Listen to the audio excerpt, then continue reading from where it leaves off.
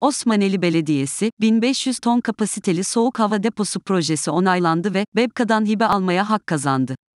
Sanayi ve Teknoloji Bakanı Mustafa Varank'ın Bilecik ili Osmaneli ilçesi ziyareti sırasında Osmaneli Belediye Başkanı tarafından kendisinden destek istenen soğuk hava projesi hayata geçiyor.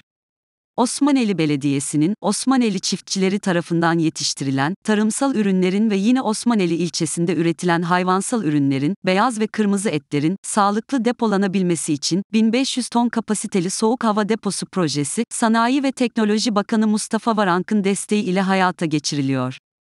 Osmaneli Belediye Başkanı Münir Şahin yaptığı açıklamada Bebka kanalı ile sunduğumuz projemiz ile çok verimli topraklara sahip, tarımın Antalya'sı olan ve ilimizin tarımda öncü ilçemiz için soğuk hava deposu zaruret. Yerleşim yeri olarak büyük merkezlere çok yakın olan Osmaneli, ürünlerini kısa süreler içinde olsa stoklamak zorunda. Projemizde öngörülen 1500 tonluk soğuk hava depomuz 36 metre çarpı 25 metre eşittir 900 metrekare kapalı alan ve artı 4 eksi 18 soğutma kapasiteli 105'er metrekareden oluşan toplam 6 odadan oluşacak.